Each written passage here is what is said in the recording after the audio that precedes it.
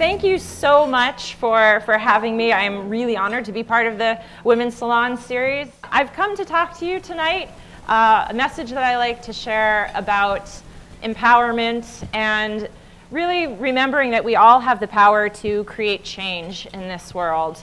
And I think sometimes our society gets away from it a little bit. We associate people who, who change the world with being famous or perhaps very wealthy. And I think it's important to remember that we really truly all have this power to, to find a small niche in the world and create some change for the better, and that it can have a really tremendous trickle down effect. A little bit of background um, I, as mentioned, I grew up as an athlete and played a lot of different sports. And then after college, I started, uh, I, went, I came here for grad school to the creative writing program to get an MFA at U of A, which is a really outstanding program here. So I was very happy to be part of it. And while I was here, I started uh, getting involved in the sport of triathlon. And after grad school ended, I, I, I had progressed enough in triathlon where I thought, okay, I actually have an ability to turn professional, and I feel like I should follow that. And yet I know that I have to have a quote unquote real job as well. And so I, I put a portfolio out to ESPN, and I was fortunate that they hired me to do freelance assignments. And it was usually a little 500 words here or there on an athlete, uh, pretty standard stuff. And then one day I got a call, this was in 2006, and my, uh, my contact there said, all right, Kathryn, we've got an assignment for you.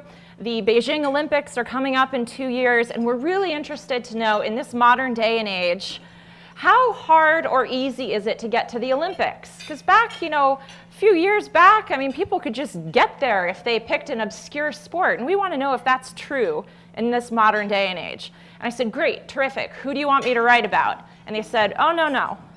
We want you to be the guinea pig. So try to get to the Olympics in two years. and I said, Well, what do you mean? Well, what sport? Where? How? That's up to you. Go figure it out. Ready? Go. And I was blown away because this is so exciting to me as an athlete. Uh, and then to be able to write about it. So the, the idea was to write a column for two years uh, that would eventually be turned into a book.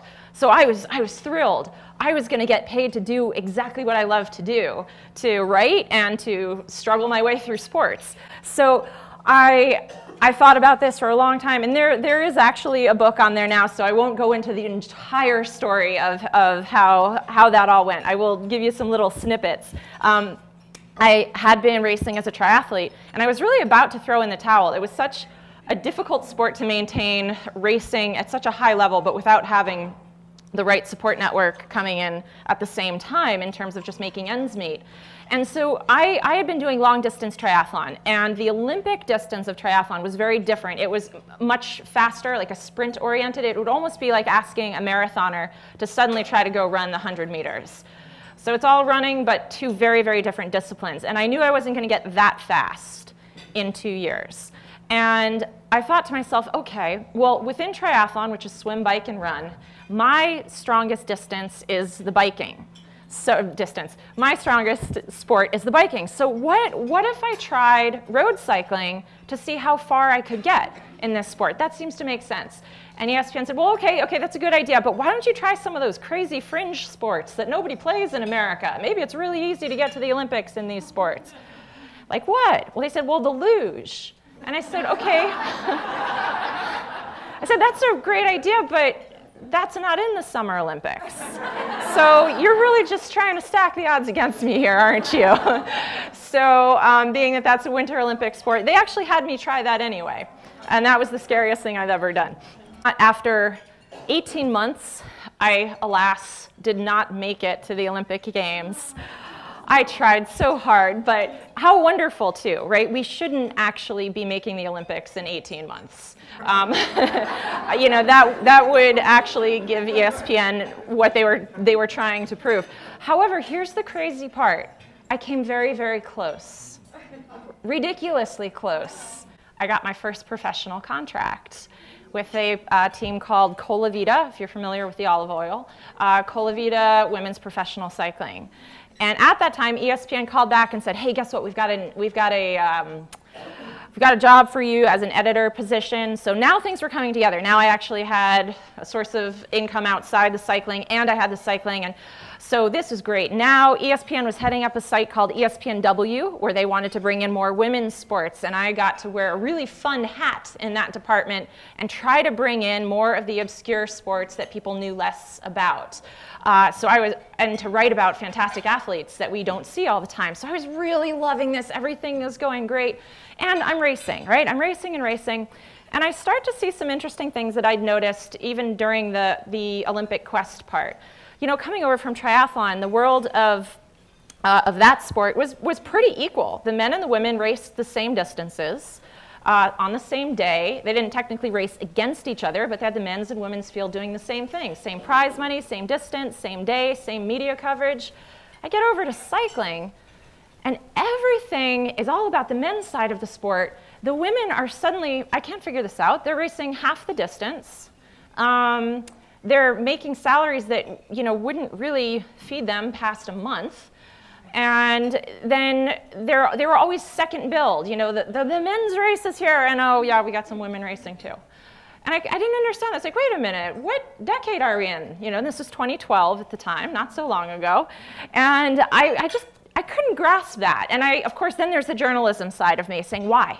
Why? Why, why, why? Why is this like this? So um, I'm making the documentary. Things are going along well with that.